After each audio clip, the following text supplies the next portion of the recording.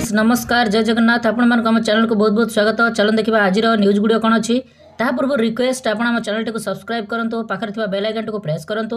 ଆମେ ଯେତେବେଳେ ନୂଆ ନୂଆ ଭିଡ଼ିଓ ଅପଲୋଡ଼ କରିବୁ ସର୍ବପ୍ରଥମେ ଆପଣ ଦେଖିବାର ସୁଯୋଗ ପାଇବେ। ଭିଡ଼ିଓଟିକୁ ବହୁ ମାତ୍ରାରେ ଲାଇକ୍ କରନ୍ତୁ ଓ ସାଙ୍ଗସାଥିମାନଙ୍କୁ ସେୟାର କରନ୍ତୁ। ଚାଲନ୍ତୁ ଦେଖିବା ଆଜିର ପ୍ରଥମ ନ୍ୟୁଜ୍ଟି କ'ଣ ଅଛି। ଏହି ନ୍ୟୁଜ୍ଟି ଦେଖନ୍ତୁ ବନ୍ଧୁଗଣ ଶୁଭେଚ୍ଛା। ଆଜି ଏକତିରିଶ ଦଶ ଦୁଇହଜାର ତେଇଶ ତାରିଖ ମଙ୍ଗଳବାର।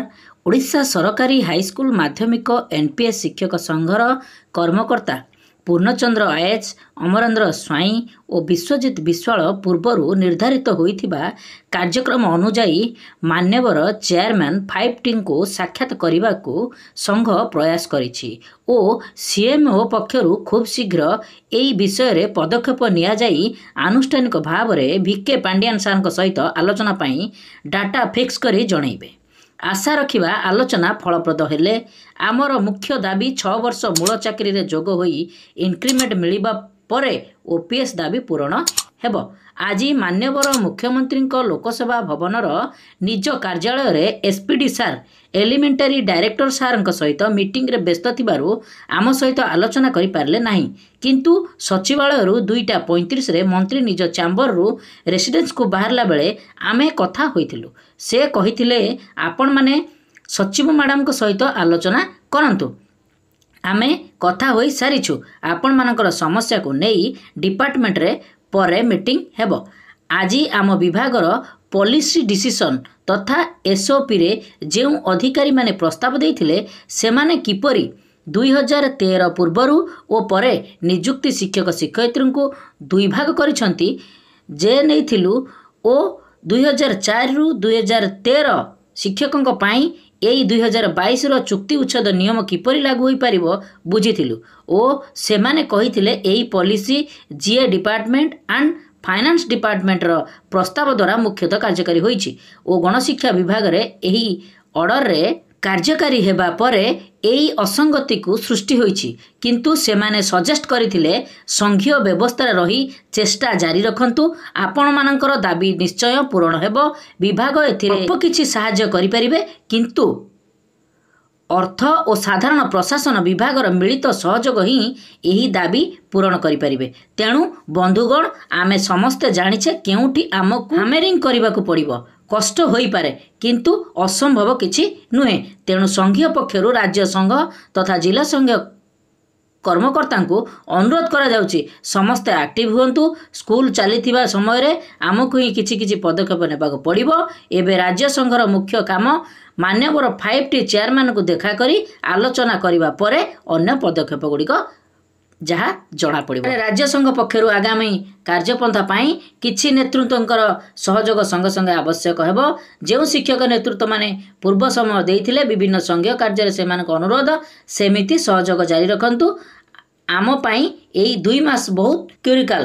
ନିବେଦନ ସମସ୍ତଙ୍କୁ ସମୟ ଦେବା ସଂଘୀୟ କାର୍ଯ୍ୟରେ ସହଯୋଗ କରିବା। ଓ G H S N N P S T A. ତେଣୁ ସହଯୋଗ ଏଠାରେ ସେ ମାଗିଛନ୍ତି। ତେଣୁ ସମସ୍ତଙ୍କୁ ଧୈର୍ଯ୍ୟ ଧରିବା ପାଇଁ ମଧ୍ୟ କହିଛନ୍ତି ଦୁଇ ମାସ ଭିତରେ ନିଶ୍ଚିତ ଭାବରେ ଦାବି ଗୁଡ଼ିକ ପୂରଣ ହେବ। ଚାଲନ୍ତୁ ଦେଖିବା ନେକ୍ସଟ ନ୍ୟୁଜ୍ଟି କ'ଣ ଅଛି? ଏହି ନ୍ୟୁଜ୍ଟି ଅଛି ଦେଖନ୍ତୁ ଯେଉଁ ନ୍ୟୁଜ୍ଟି ଥିଲା ପ୍ରାଥମିକ ଶିକ୍ଷାକୁ ଡିଜିଟାଲାଇଜେସନ୍ କରିବା ରାଜ୍ୟ ସରକାର ଅଭିନବ ପଦକ୍ଷେପ ନେଇଛନ୍ତି। ଅନଲାଇନ୍ରେ ଛାତ୍ରଛାତ୍ରୀଙ୍କୁ ଶିକ୍ଷା ଦେବା ପାଇଁ ଶିକ୍ଷକମାନଙ୍କୁ ଟ୍ୟାବ୍ ଦେବା ନିଷ୍ପତ୍ତି ନେଇଛନ୍ତି। ରାଜ୍ୟରେ ମୋଟ ଛୟାନବେ ହଜାର ସାତଶହ ଅଠର ଶିକ୍ଷକଙ୍କୁ ଏହି ଟ୍ୟାବ୍ ଦିଆଯିବ। ଓଡ଼ିଶା ଶିକ୍ଷା କାର୍ଯ୍ୟକ୍ରମ ପ୍ରାଧିକରଣ ଓ ସେବା ପକ୍ଷରୁ ପ୍ରକ୍ରିୟା ଆରମ୍ଭ ହୋଇସାରିଛି। ଏହାଦ୍ୱାରା ଏକଚାଳିଶ ହଜାର ଚାରିଶହ ସଡ଼ଚାଳିଶ ସ୍କୁଲ ଉପକୃତ ହେବ ବୋଲି ଜଣାପଡ଼ିଛି। ଶିକ୍ଷାଦାନ କ୍ଷେତ୍ରରେ ଏହି ଟ୍ୟାବ୍ ଶିକ୍ଷକମାନଙ୍କୁ ବିଭିନ୍ନ ପ୍ରକାର ସହାୟତା କରିବ। ଏହା ଜରିଆରେ ଶିକ୍ଷକମାନେ ପିଲାମାନଙ୍କ ବୋଧଗମ୍ୟ ହେବା ଭଳି ବିଷୟବସ୍ତୁର audio video power point projection ଓ ପି ଡି ଏଫ୍ ଇତ୍ୟାଦି ତିଆରି କରିପାରିବେ। ସେହିପରି ବିଦ୍ୟାଳୟ ଗଣଶିକ୍ଷା ବିଭାଗର ୟୁଟ୍ୟୁବ୍ ଚ୍ୟାନେଲ୍ ଥିବା ପାଠ୍ୟ ବିଷୟବସ୍ତୁକୁ ଏହି ଟ୍ୟାବ୍ ସହାୟତା କରିବ। ତେଣୁ ଏହା ସହ ଦୀକ୍ଷା ମଧୁ ନିଷ୍ଠା ମଡ୍ୟୁଲ୍ ଓ ଇ ପାଠଶାଳା ପ୍ରଭୃତିର ବିଷୟବସ୍ତୁ ନେଇ ଶିକ୍ଷାଦାନ କରିପାରିବେ ଏହି ଟ୍ୟାବ୍ ଉପଯୋଗୀ ହେବ। ତେଣୁ ଏହା ମଧ୍ୟ ଭଲ ପଦକ୍ଷେପ କିନ୍ତୁ ତାହା ପୂର୍ବରୁ ସରକାର ଏଇ ଯେଉଁ ଆଲୋଚନାଟି ହେଇଛି ଆସନ୍ତା ଡିସେମ୍ବର ମାସ ଭିତରେ ଯେଉଁ ଦାବି ଗୁଡ଼ିକ ଅଛି ତିନି ଦଫା ଦାବି ଅଛି ତାହାକୁ ପୂରଣ କଲେ ଏହି କାର୍ଯ୍ୟକ୍ରମ କଲେ ତାହା ଶୋଭା ପାଇବ। କିନ୍ତୁ ନହେଲେ ଯାହା କିଛି ଆପଣ ଦେଉଛନ୍ତି ଶିକ୍ଷା ବ୍ୟବସ୍ଥାର କୌଣସି ଉନ୍ନତି ହୋଇପାରିବ ନାହିଁ। ଶିକ୍ଷକ ନିଜର ନ୍ୟାର୍ଯ୍ୟ ଦାବିରୁ ବାହାରକୁ ଚାଲି ଯାଉଛନ୍ତି ସରକାର। ତେଣୁ ଯେଉଁ ଦାବିଗୁଡ଼ିକ ଅଛି ତାକୁ ପୂରଣ କରିବା ନିହାତି ଆବଶ୍ୟକ। ତାପରେ ଆପଣ ଯାହା କିଛି କାର୍ଯ୍ୟ କରିବେ ସମସ୍ତ ଶିକ୍ଷକ ବନ୍ଧୁ କାର୍ଯ୍ୟ କରିବା ପାଇଁ ପ୍ରସ୍ତୁତ ଅଛନ୍ତି। ଚାଲନ୍ତୁ ଦେଖିବା ନେକ୍ସଟ ନ୍ୟୁଜ୍ଟି କ'ଣ ଅଛି। ଏହି ନ୍ୟୁଜ୍ଟି ଅଛି ଦେଖନ୍ତୁ। Odisha school education programme authority ଅଠର ଦଶ ଦୁଇହଜାର ତେଇଶରେ ଚିଠିଟି ଅଛି ବାର ହଜାର ଦୁଇଶହ ଅଡ଼ଚାଳିଶ ଅଛି। Shri Anupam Shaha IAS state project director all DEO cum DPC Samagra Shiksha Odisha. ତ regarding use text books along with work book followed the implementation of Vidya ପ୍ରବେଶ ପ୍ରୋଗ୍ରାମ ଯେଉଁ ବିଦ୍ୟା ପ୍ରବେଶ ପ୍ରୋଗ୍ରାମଟି ଚାଲିଥିଲା ଆପଣଙ୍କର କ୍ଲାସ୍ ୱାନ୍ ପାଇଁ ତ ତାହାକୁ ବର୍ତ୍ତମାନ ସରି ସାରିଛି ଡିଟେଲ୍ସ କ'ଣ ଦେଇଛି ଦେଖିବା madam sir inviting reference to subject cited ଏବଂ I inform you that the school readiness program vidya pravesh was instructed for class 1 student of government schools under S&ME SST department since 1 July 2023 the said program continuously up to 30 September पर्यंत चलता the schools must have started administration of text books from one October ଏକ October ଦୁଇହଜାର ତେଇଶରୁ text ବୁକ୍କୁ ସେ ବହିର ପାଠ ସରିସାରିଛି।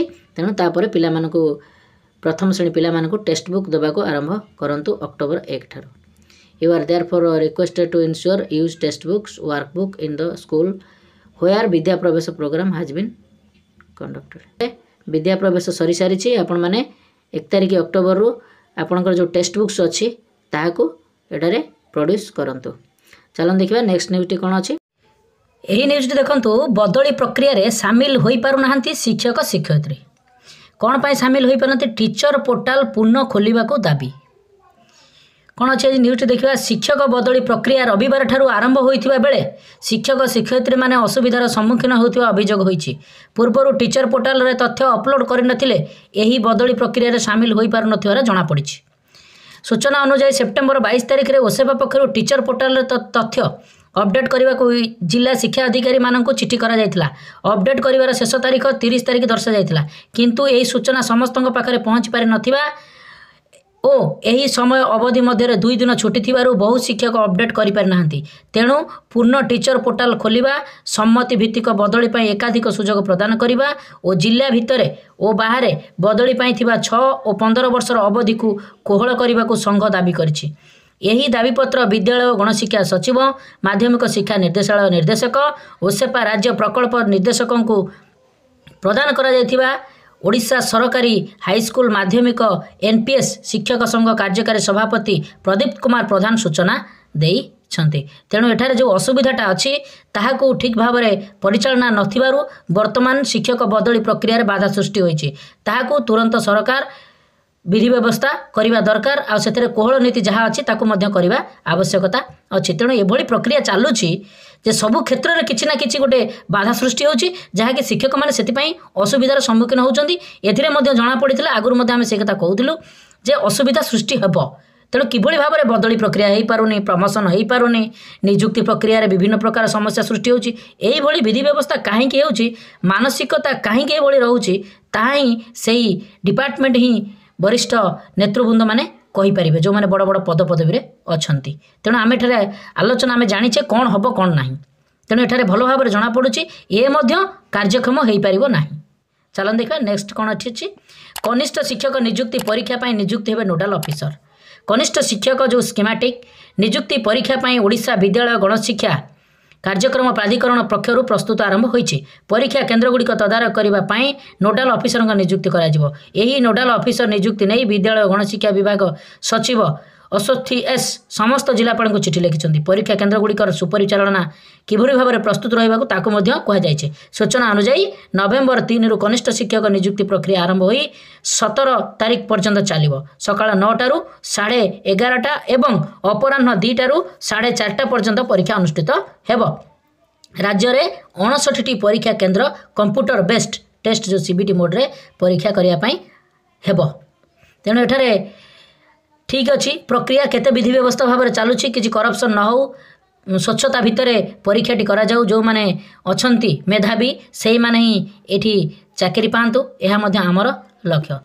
ଏହି ନ୍ୟୁଜ୍ଟି ଅଛନ୍ତି ଏକତିରିଶ ଦଶ ଦୁଇହଜାର ତେଇଶରେ ଅଛି ଏହି ନ୍ୟୁଜ୍ଟି ଭାଇରାଲ ନ୍ୟୁଜ୍ଟି ଦେଖନ୍ତୁ ଫାଇଭ୍ ଟି ତଥା ନବୀନ ଓଡ଼ିଶାର ଚେୟାରମ୍ୟାନ୍ ଶ୍ରୀଯୁକ୍ତ ବି କେ ପାଣ୍ଡିଆନଙ୍କ ସହ ଓଏସ୍ଏସ୍ଟିଏର ଏକ ପ୍ରତିନିଧି ଦଳଙ୍କ ସୌଜନ୍ୟମୂଳକ ସାକ୍ଷାତ ଓ ଆଲୋଚନା ହୋଇଥିଲା।